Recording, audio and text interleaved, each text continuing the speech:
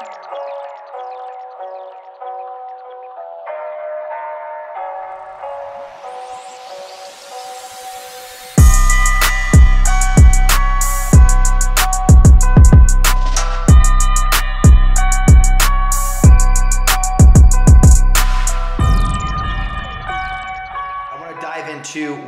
eating. I know I just worked out, but the road to recovery and, and building your physique and every it comes down to your nutrition.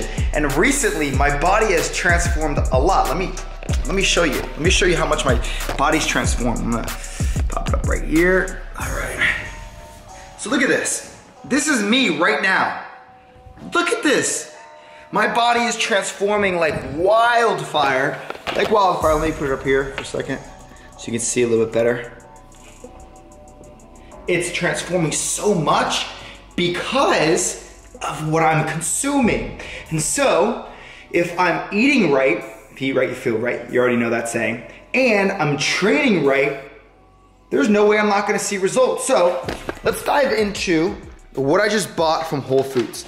And when I tell you to invest in what you consume. Invest in your body, whether that's a program, Body Evo, or it, I don't even know what that was, or if it's massage therapy or whatever it is, stretching, investing your time, energy, do it. Because if you don't, well, then you're not going to see the results that you want. And you're to wonder, why am I sick? Why are my results not coming? Why am I injured? So let's dive into this. This is the only thing, the only piece of or a piece of food that I can consume that is like cheat meal worthy, right? And it's not even that bad. You should check these out online. Okay, in this bag I have uh, lean ground bison. So I bison right here. I don't eat chicken very often. I don't eat any turkey. I don't eat any just regular beef I don't eat any of that crap. I eat some very, very good wild meats, and that's what I like to consume.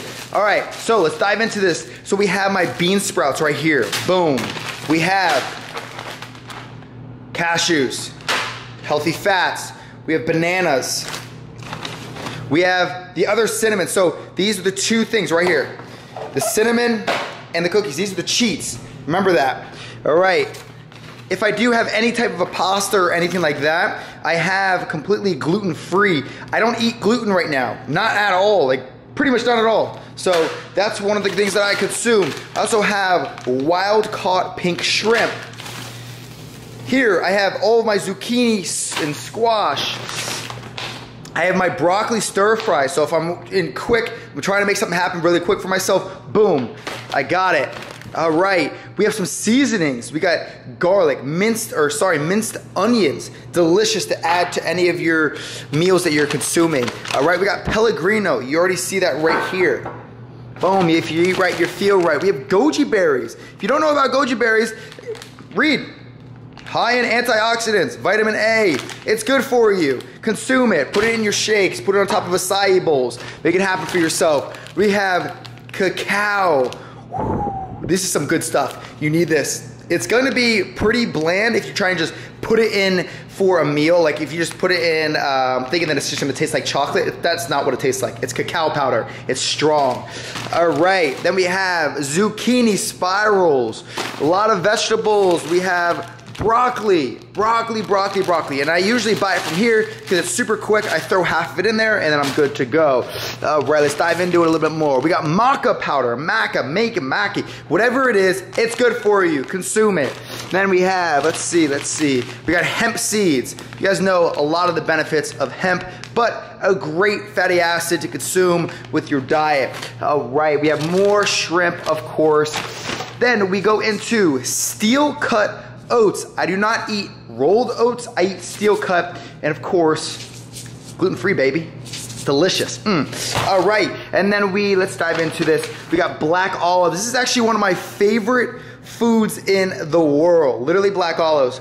You wanna make me happy? Get me gummy bears, and black olives. I know that's a weird combination. All right, all right. So we have more black olives and all of that, but we also have a couple seasonings. It's very important. You always want to add in some type of a spice or something that's going to give you some great benefits. Cinnamon is great to add in to, uh, let's say, a, a, shake, or you can add it onto some, maybe you're making dessert, you have like a little bit of yogurt, whatever it is. And then I have paprika. Paprika is delicious. You can add this to fish and it makes it uh, smoked taste. It's delicious. All right, and then let's just keep on diving into it. We got a lot of stuff in here. I have lemon water every single morning. By the way, these are some clothes. Ignore that. Clothes. Ignore it. Okay, then we have some eggplant. Let's keep on going. Kiwi so delicious and I eat the outside. I eat actually the skin of it because it's high in fiber. And it's also very good. It's delicious. I love having the skin on there. A lot of people wonder like, what the heck? Why do you do that? Well, I just do it. I just do it. It's natural. It's from the ground. I eat it. So then here we have, did I say from the ground? Whatever. And then I have some cucumber, organic. I usually eat everything organic. I try to, and I spend a lot of money on my groceries. I do. I really do. I have apples right here delicious. I usually add some cashew butter or sunflower butter for those bad boys. And then we have potatoes. So we have sweet potatoes and we have a little bit of russet potatoes, okay? And then I believe that is it. But if you go in here, this is not mine. These are, this is actually Brian's. So I have spirulina, I have barley grass, I have organic sunscreen because I don't want to put crap on my body. I have brown rice organic rice cakes. I have raw unfiltered honey. Delicious, very good for you. Then I also have some teas, like really good herbal teas that you can put up uh, and, and at night and just consume late at night. Then you go to my fridge and we have some cashew milk, literally dairy-free, organic cashew milk, unsweetened plain. I don't like any of that extra crap. I got some kombucha. Um, I got some more hemp protein right here.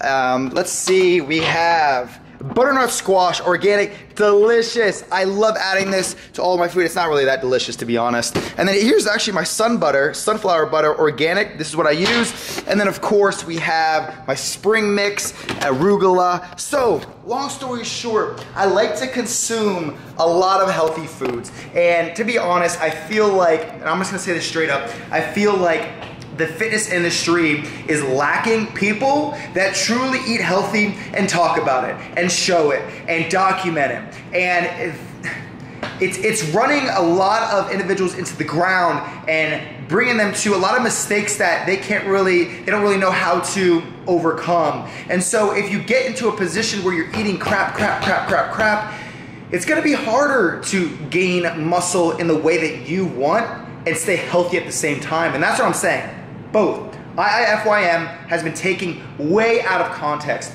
You know, if you eat healthy all the time and do cardio all the time and you're having incredible workouts, you're not gonna wanna eat crappy foods. You're not gonna wanna consume sugary drinks and all this crap that's out there.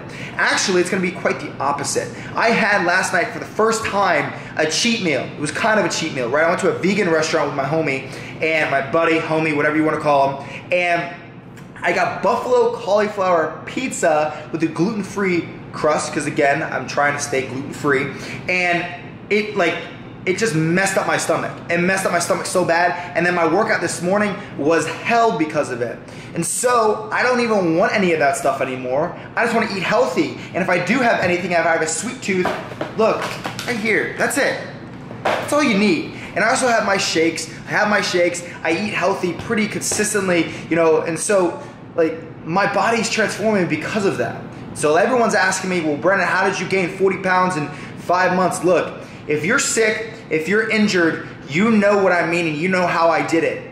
If you lost 40 pounds, a lot of it being muscle, it's going to come back extremely, extremely quick, especially if, if my body's used to training. It's adapting, it's so quick to adaptation.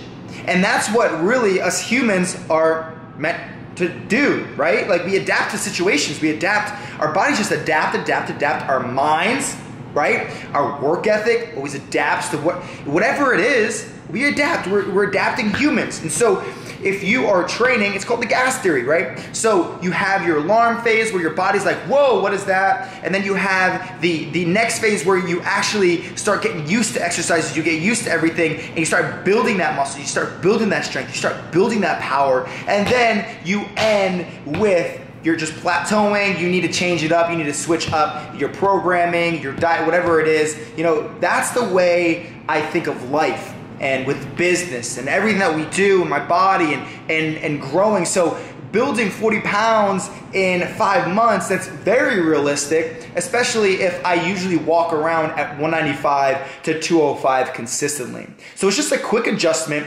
because I started eating way more. Look, I gained a lot of weight because I wasn't eating. I gained, or sorry, I lost a lot of weight because I just wasn't eating. I lost a lot of weight because I wasn't exercising. I lost a lot of weight because I was so stressed. I was lo- I lost a lot of weight because I was injured and I had sicknesses. And so if you're somebody who feels like you can't gain weight or you can't build the size that you want or anything like that, doubtful, very doubtful. You can, you absolutely can. You're not gonna gain 40 pounds in five months like myself because you're not sick, you're not injured, you're not in the situation where you lost all that weight, right? But you can expect yourself to gain a couple pounds per month if you do it properly. Now, it's different if you're more of an expert, you've been training for a while, you're more advanced, you've been training for years, you know, your body's adapted to a lot of stimuli, so it's going to be a little bit harder for you to gain weight and build that size that you want and, and build that lean muscle, because that's what we're really here to do, right? We want to have that body, that physique, and be able to walk around feeling healthy and doing incredible things and, and overcoming things. And so, you know, if you stay strict with your diet, you stay strict with everything I just talked about in this video, um, I believe 100% it'll happen for you as well. So, if you enjoyed this video, please give it a thumbs up. Subscribe if you haven't already. Comment down below. And you know what we say, if you eat right, you feel right. If you feel right, you look right. And if you look right, you do right. You dig. Thanks for tuning in, and I'll see you next time. Peace. Oh yeah, don't forget to pick up Body Evo right now. Opportunity of your life to start bodyweight training. Full go. Let's go in the description. Join the family.